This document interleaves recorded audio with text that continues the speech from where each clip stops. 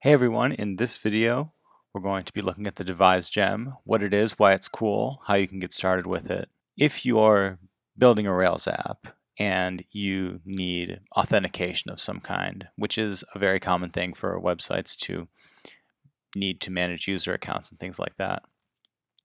If you find yourself in that situation and you're making it in Rails, I highly recommend using Devise to handle that for you. Devise is a very easy to set up solution for managing users or for managing authentication on any model. It is it's very easy to set up, it's very powerful, it's very flexible, and it's very secure, which is like the most important thing of all, right? When you're when you're dealing with a security matter, you want the best. And Devise, it's deceptively easy to set up, but it's still strong enough the the password protection and things like that, the methods that it uses for salting and digesting passwords are powerful enough and good enough that you could use it at enterprise level or you could use it for your own personal projects. It's really one of my favorite gems out there, and I'm surprised that I haven't done a video on it prior to now. So let's just jump right into it. I will have a link, of course, for the project's GitHub page in the video. And so I just generated here a new Rails app and don't have anything in it yet, but we will in a second. So as always, when adding gems, the first thing to do is to go to your gem file and add devise, and then go ahead and do the bundle install.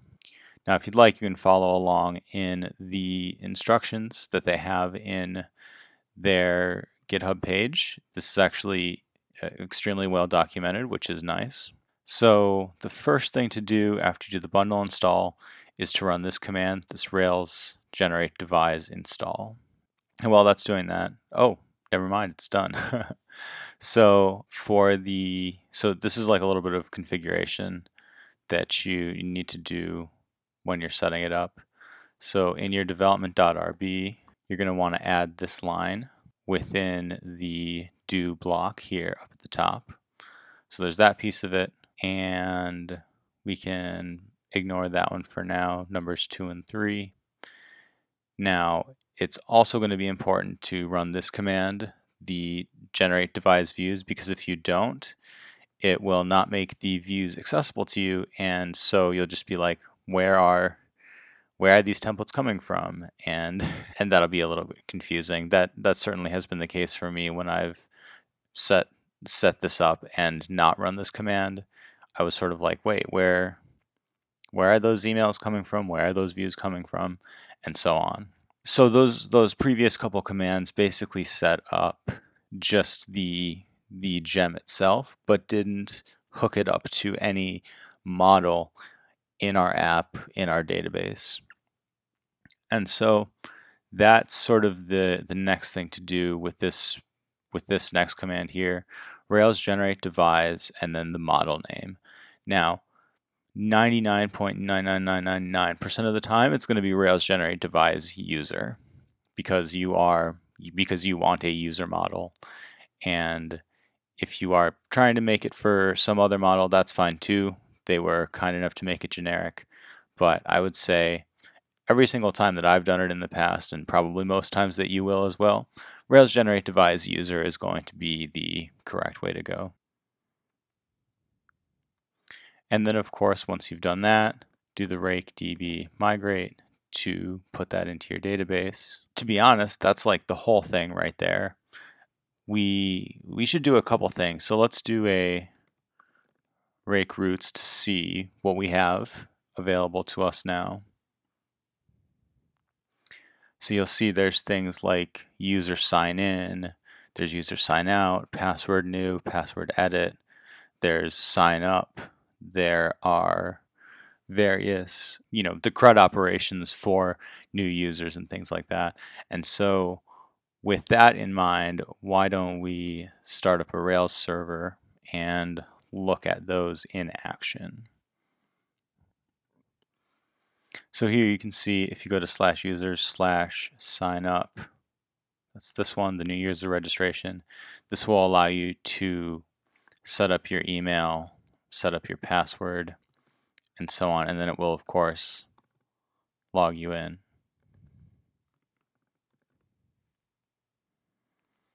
You can also, so we're now signed in. And so that's basically the, that's the whole thing that goes into it. You know, you see here, you have your user sign in, user sign out.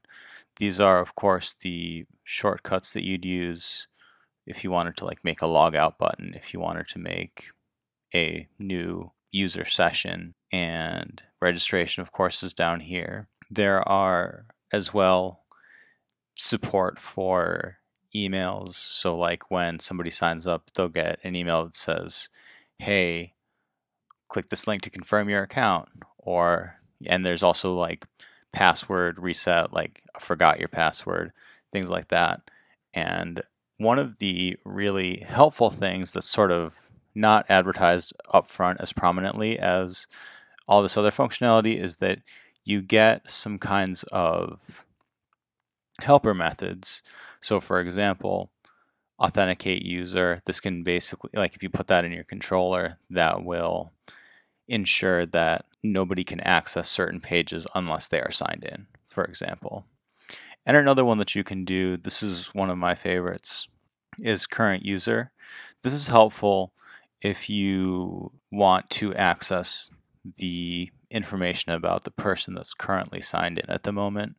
So this is helpful for for a lot of things, but it's helpful, I'd say in my experience it's been most helpful for doing authorization type stuff without having to bring in another gem like CanCanCan. To give you a concrete example, there was I was helping set up a messaging app and or I was helping set up the messaging part of an app and there was no check being made. It was just like loading a conversation, but it wasn't checking to make sure that the current user, the person that was using it, was one of the participants in the conversation. And that meant that if you just guessed the ID of a conversation, you could access it and participate in that and read that conversation.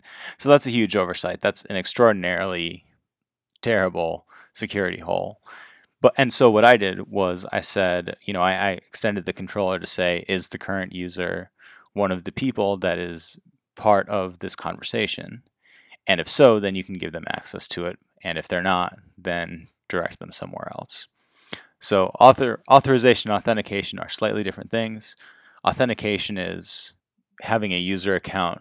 Are you signed in? Are you not signed in? Things like that. Authorization, by contrast, is do you have access to this particular page? Or do you not have access to this particular page because it's not your page or because it is your page, depending on what the case is. And I'll probably do a video for CanCanCan at some point in the future. That's sort of the standard for authorization gems. But this one is Devise. I hope you enjoyed it, and I'll see you all in the next one.